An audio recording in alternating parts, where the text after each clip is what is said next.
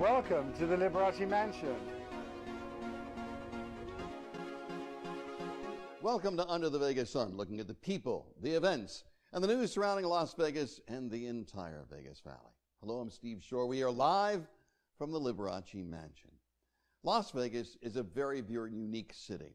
A lot of things take place in Las Vegas, but some of the great things that happen surround its people, surround those who do things in life to help others. On our program today, you'll meet two individuals who have put together an amazing event that will take place right here in Las Vegas to give other people a chance at life. When we come back, you'll meet these two amazing individuals and their special event on October 13th. Stay with us. We'll be right back. Hello, this is Keith Evans at the Lion Habitat Ranch. We'd like you to come out and visit our ranch. There's 38 lions, a giraffe that paints, ostriches, emus, and birds. We do school tours, general admission, Friday, Saturday, Sunday, Monday, and behind the scenes tours every day of the week. Besides coming in as general admission, you can also pay extra to help our animals, and you can feed the giraffe. You can feed one of the lions, or you can have Ozzy paint a custom canvas for you. You can also buy Ozzy paintings in the gift shop. While we do our demonstrations at 12 and 2 of Ozzy painting, all those canvases are available for purchase. In addition to everything you can do here in person, you can find us on the website lionhabitatranch.org where you can make your reservations online or buy your paintings online. Thank you very much. Please come. Hey, it's Mark Shunock from Monday's Dark, and you are watching Under the Vegas Sun with Steve Schorr. Giving back. In today's world, a lot of people talk about giving back, but very few actually do. But yet, giving back today, as we've seen with everything that took place in Florida and Texas, can mean the biggest to all other people. On our program today, two individuals who have given back and continue to give back.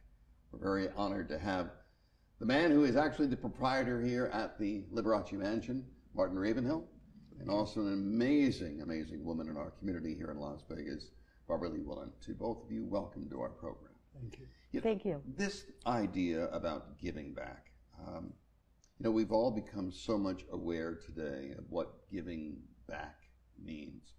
Uh, the disaster that, that has hit uh, not only uh, in Florida and Texas, but we've seen the ravishing fires that have taken place in, throughout the West. We've seen the, the horror of an earthquake in Mexico. Martin, you're from the United Kingdom, coming here to America. And I honestly believe, if, if I am honest with myself, that, that Americans give back more than I think people realize. What does it mean to you? What do you see giving back as meaning to you? As far as I'm concerned, I'm a huge believer in um, recognition. For me, is so much more valuable to me than reward. And so it is what will make me continue to thrive and carry on. And uh, even when I don't foresee it, uh, just recognition. If I, if I receive recognition, that does it for me. There, there could have been a time, Martin, when you purchased this mansion that you put in your own personal money, have now spent millions on this mansion, that some people might have said, well, that's, that's enough. You've saved a historic place here in Las Vegas. Matter of fact, it's the first registered historic home like this in Las Vegas. But you went further. You created another foundation. You created even more to give back. What was that inside of you that said, it's not just about money, it's about helping others? Uh, it just seemed the right and correct thing to do. Um, I opened up a foundation, uh, 501c3, and it's um, called Friends of the Liberace Mansion Foundation. And the idea is it's to help people in the performing and creative arts. And um, the, I'm such a big believer. There's so much talent here. We are the not we're the entertainment capital of the world, and there's a lot of people behind all the stars who are understudies, and they just need a little bit of break. And I can do that. That was so much a part of who Liberace was. It was. I mean, it's the one side of Liberace that I don't think most people, most of the audience even knows who that was, who that individual was. But he believed in giving back. He believed in helping others, especially those young, vibrant, upcoming artists that he believed needed that same break. Is that it? Was that a reason for you? It was partially one of the main reasons, yes, it was. And my dear friend Barbara Woolen here, she has her own foundation, and there are many parallels to that. And I'll let her talk to you about that. But um, it, it kind of helped us. Let's, let's get this going. Barbara, you and I have known each other for a long time. Um, Yes. one of the things that has always impressed me most upon you and your wonderful husband, Bruce, is, is how much you two have indeed given back to this community. Listen, you're both very successful in life. What you've done in life has been those things that, that many of us wish we could have, and that's the dollars and cents. But for the two of you, and for you in particular, and your foundation, it's gone past that. It's gone to help people like those who need it. What is that driving force behind Barbara Lee Woolen that makes you do that?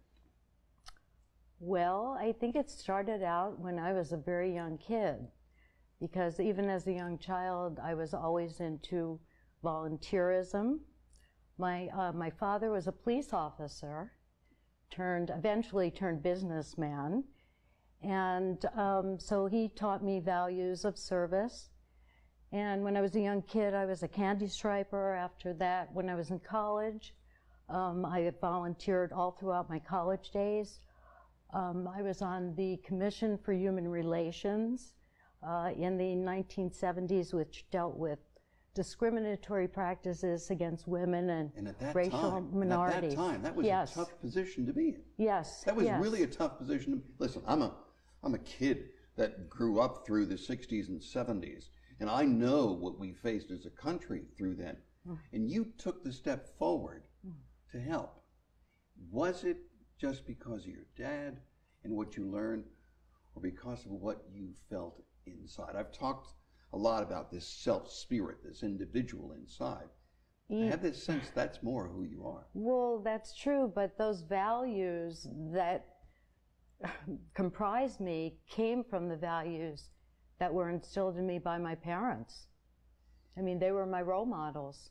So I internalized them. I guess I had the choice to reject them, but I internalized those values.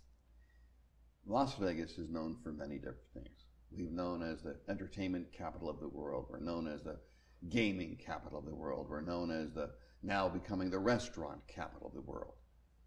People outside of our own community, and even some inside of our community, don't understand that we're also a part of the philanthropic leadership of the world. Is that something people should know? Well, absolutely. And I always, in promoting Las Vegas um, on my own, as you know, I once ran for uh, lieutenant governor, Yes, and did. part of the duties of that office uh, would have been at that time the head of tourism. And so I take it upon myself to promote Las Vegas and Nevada and all of its values, not just as a tax shelter, but what a strong sense of community that we have here. Martin, when you came here, when you came here, um, I mean, you you purchased this incredible mansion on, on on literally a whim on that day. That's right. What what were your feelings? What were your ideas about what Las Vegas was that you now call part of your home? I a wave of responsibility came over me, and um, I saw something which needed to be protected, and I couldn't understand why it wasn't, and so I had to step up. Uh, luckily, I had the stomach for it, and um, and, And the and I magicked it. Um, well, that, yeah, that has merit. Um, so, but yeah, it was something I had to do. No one was doing it, and um, so this needed. This is Liberace was so iconic, and So, so because of that, this this wonderful home is not open to the public. This wonderful home, um, in, in, your desire to protect its heritage and protect the various things about it, you don't you don't want people just to come in here, but yet you believe you believe that it should be utilized to the extent that Liberace wanted it to, and you have opened it for philanthropic uh, events. The two of you have now joined forces for an event on October 13th inside this mansion that's right. That will not only help other people, but will give community members an opportunity to see this incredible place that I'm lucky enough to do my TV show in. Barbara, what does it make you feel to know that you're part of the impetus to make this happen? Well, I'm very excited and excited and honored, and um, my foundation is set up to benefit children and the arts, and it coincides with the mission statement of Martin's, and so we have great synergy. there is there's a feeling that you get in this house there's a feeling that is in this house about not only the music that was in here but the spirit that was in here you're shaking your head you know I exactly what i'm talking I experienced the spirit one night. did you really One day, was it day or night? Day, when we were in the other apartment and uh, no one was around, and a door slammed. Out and I nowhere. screamed, and everyone came running and out of nowhere. And I spoke with another gal that was visiting at the time, and she had spent the night, and uh, she experienced spiritual happenings during the evening. This house is full of energy. Full of and you, energy. as soon as people walk in the door, it's like they've had five glasses of champagne. It's like It- it- It's not It's bad. just- it's not bad it's not- energy. no, it's good energy. it's good. It's good energy. So this event on October 13th is going to be an amazing event. I'm going to take a break for a couple of seconds. best. When I come back, I want to talk about this event. I want to talk about how people can be involved, and I want to talk about how it's going to benefit young entertainers that all they want is a break. So we'll take a break. When we come back, more of this amazing idea. Think about what you could do if you could just feel and sense what the Liberace Mansion is all about. We'll talk about that in just a couple of seconds. Stay with us.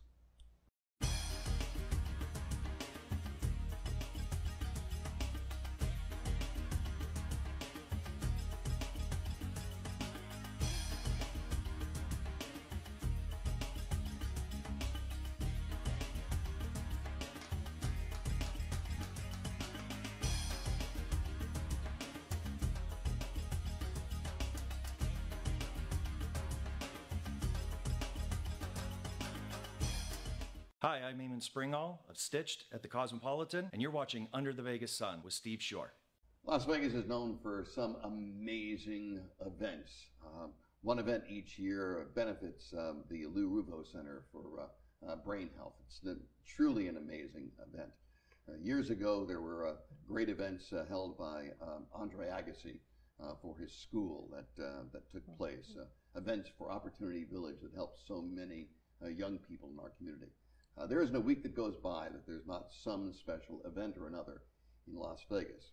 But this event on October 13th will be very, very unique. An event and an opportunity that will set right here in the Liberace Mansion. Once again, our very special guest, uh, Martin Ravenhill and uh, Barbara Lee Woolen. To both of you, welcome back to the program. Okay. So this is an event, first of its kind, first of its kind in, in Las Vegas, that we're going to do it within the Liberace Mansion or anything whatsoever. And this is really about helping. It's really about giving back, but it's different. This is going to be, if I'm not mistaken, tell me if I'm right or wrong, this is going to be a masquerade ball, and thrown in there just in case a masquerade ball was not enough. it's going to be a murder mystery. a musical murder mystery. You How did that all come about? First of you? all, can you say that five times fast? I can, I can. but you won't? I won't. we, we, we missed mayhem, didn't we? How did that come about? How did You it come wanna- about? uh, Barbara and I were having cocktails one night, and uh, we were at a murder mystery, and um, she has a very lucky husband, and uh, he just He's got win- her. he, he wins Gotta be everything. Absolutely, yes. Absolutely. And um, guess whose table out of the whole, you know, all of the tables um, and the murder mystery won the free murder mystery. He won a Uh, prize just out of a raffle Bruce did. drawing. And so we thought, what can we do with this? And uh, so we thought, we both have foundations. We can do something very, very special with this. We've won something which we don't really need, but perhaps we can help others. But you could have, listen, let's be honest. You could have just said, you know what? I'm going to have a few people at my home and we'll have a murder mystery there. But you didn't. You, you, both of you went back to what I talked about in the beginning of the show, and that is giving back. Well, that's it's what we enjoy doing, and um, Where'd the idea for the masquerade ball come from? I bet. I, see, I'm shocked at that, Barbara. As a kid, I always gave the annual Halloween party. From the time I was a kid till the time I stopped living in my parents' home, I gave the annual Halloween party. It's my favorite time Mm-hmm. of the year. I love when children come to my door, and I not only I, I not only give candy, I give gifts, and, and it's really? Could I have your dress? and it's but it's wonderful to see their eyes open and and have an enjoyable time. I would think a masquerade ball on Friday, the 13th of October, which is amazing by itself to do a murder mystery on Friday the 13th. But anyway, it, it it's a wonderful idea. That's what we figured. It was a bit like you know the solar eclipse. Everything lined up, and uh, we lined up, and uh, we said, "Let's do it." And um, we are doing an amazing job at it so far. Yes, and yes. It's, it's going to be the talk of the year. I mean, And, and, and you, my wonderful lady, have done something special, from what I understand. You're, you're going to display some incredible jewelry at this event. Well, I personally will not be displaying it. It will be, but I. These are uh, uh, But you made people with another foundation uh, with similar missions to to help children and for the arts, and it's Kazanjian Jewels, and uh, has a foundation.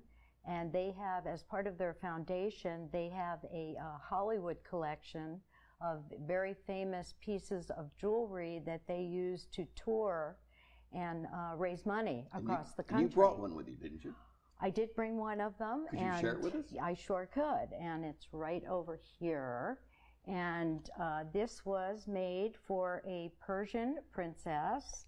Oh and my. from the Wow. early. Oh my. uh, I, I- I've, I've lost count on how many pieces of turquoise, and, and I, I couldn't count how many diamonds there are there. There are a lot of diamonds. There are a total weight of over 60 carats of diamonds in the piece. Oh my. And uh, it was made by Asprey of London, London Martin. okay. and it was made by the Queen's jeweler. This is its original case. It's from the uh, 1980s, early 1980s, and uh, this is part of the uh, jewels and collection that you'll be seeing that night of the event.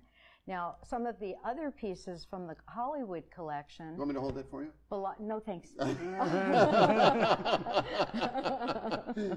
okay, I tried. some of the other pieces. I could become very popular very quickly, by the way. I'll bet you could. a girl will follow you Yes, anywhere, anywhere. if you have these, or a boy, for that matter. But anyway, uh, we're going to have uh, pieces that were owned uh, previously by celebrities.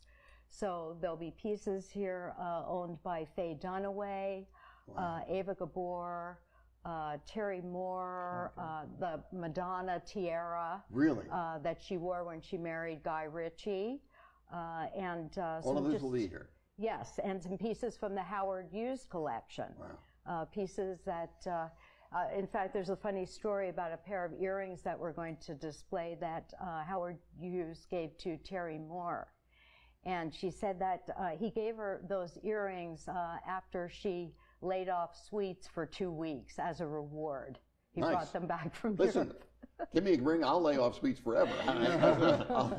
Okay, so there are other things happening that night. One of the most amazing, uh, truly amazing ladies of this community that I've known ever since the first time that I came came to this Las Vegas 40 years ago, uh, is going to be honored as a humanitarian. This is a lady who began her life as a cowgirl, later became a showgirl, and, and then married an amazing man who helped create some of the magic that is Las Vegas. Uh, humanitarian uh, of the year uh, that you're going to honor is uh, Cindy Doumani, correct? Yes. And for those who don't know, say a little bit about Cindy. She is a phenomenal person. There is not one bad bone in her body. And uh, she is very gregarious. She is on about 25 boards of different charities in the valley. And um, a dear friend of mine and Barbara's. And uh, we just mine. value her for being Cindy. And- And the one thing about Cindy, I believe, is that her heart walks into the room three days before she ever gets there. she has this amazing heart. I mean, just an amazing heart. And, and this town, I think, is lucky that, to have her. And I, I'm, I'm, I'm thrilled that she's being honored that way. But also being honored is a, is a young woman soprano that will be highlighted that That's evening, Emily, yes. right? Tell me about Emily. Emily is um, an, one of the emerging artists, and uh, she's a soprano, and she her voice um, is like a flute. I mean, it's like a nightingale. I, I, I can't really describe it. It is mesmerizing. It is just magical, and um, And she'll be singing that night. absolutely yes. And I, uh, Oh, yes. I think the audience will be blown away by, by her. Yes, you get tingles. It's, Yes. it's that sort of voice.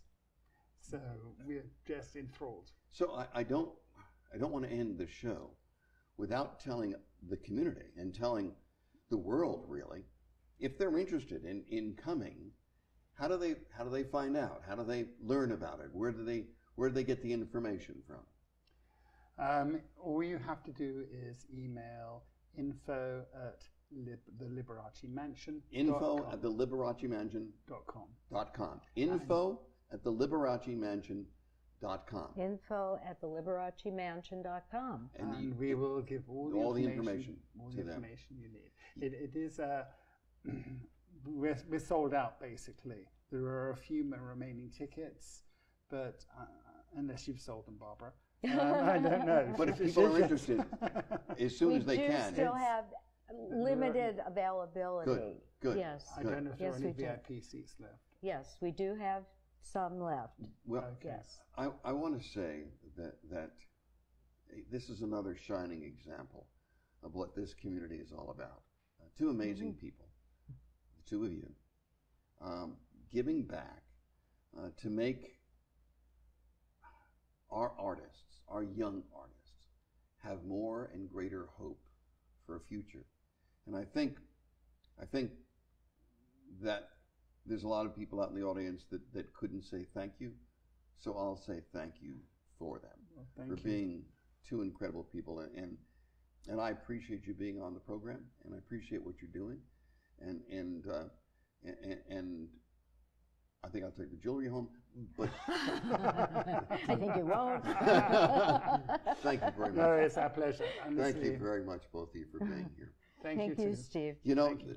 Las Vegas, as I said at the beginning, is, is known for a lot of different things, but its heart, its philanthropy, is the soul of what this community is all about. October 13th, the date. It's a Friday. Murder mystery and a masquerade ball. More importantly, it helps young artists. We'll be right back with some closing words. Stay with us.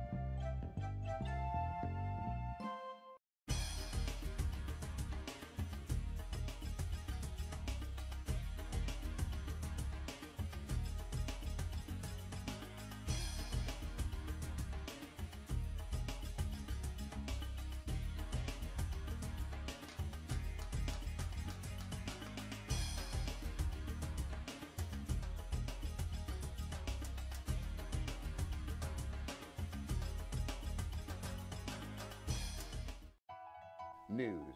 In today's world, news has become even more important in our lives. Hello, I'm Steve Schorr. For some 40 years, Las Vegas has been my home, and it's been good to me. Now, I want to give back. That's why I started the Now Report, the independent voice newspaper, fair, balanced, unbiased, online and mobile, and it's free. The time has come for an independent voice because news is important. The date, October 13th. The event, my goodness, a masquerade ball in Las Vegas, all to help young people. And on top of that, it will be an amazing murder mystery. But the masquerade ball, that could be the best. It might even be an event to die over. I'm Steve Schorr.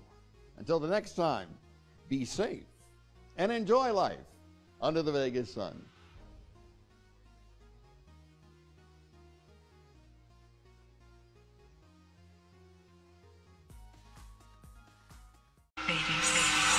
Hello, I'm Steve Schorr. I've been proud to host the TV show Under the Vegas Sun. We've had mayors and entertainers and some of the true movers and shakers of Las Vegas. Well, we're growing again. We'll now be seen in 209 cities in America through our network, Walk TV, as well as in six foreign countries. And in Las Vegas, we'll also be seen four times each week on Cox Communications Monday, Wednesday, and Friday at 5 p.m., and now Sundays at 7 p.m. on channels 1096 and 96. I just wanted to say thank you.